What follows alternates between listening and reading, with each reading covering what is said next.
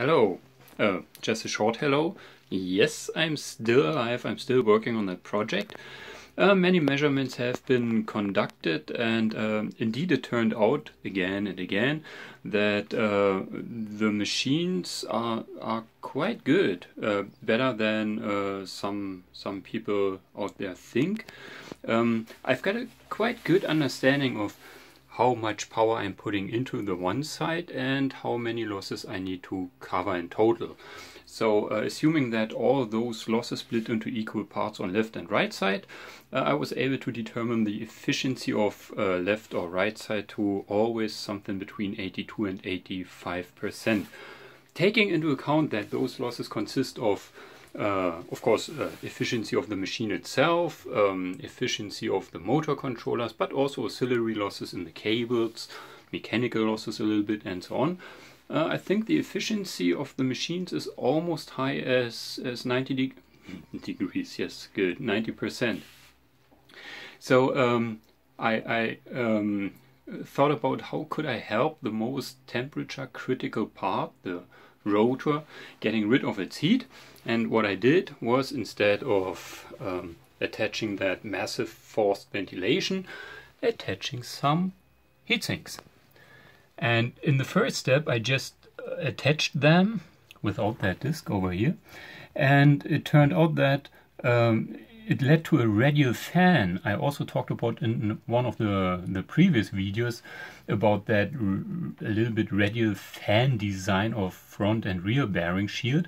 But over here, suddenly, I've got a massive airflow in radial direction at the rear bearing shield.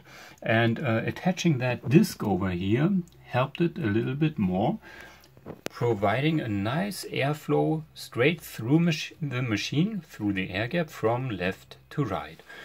And um, yeah, meanwhile, many measurements have been done, not going into detail right now. And it, yeah, it turned out that um, it, it's almost as good, that version over here with the radial fan design, almost as good as the forced ventilation. Of course, that one depends over here a little bit more on the speed. So at higher speeds, it's almost as good as that one over here.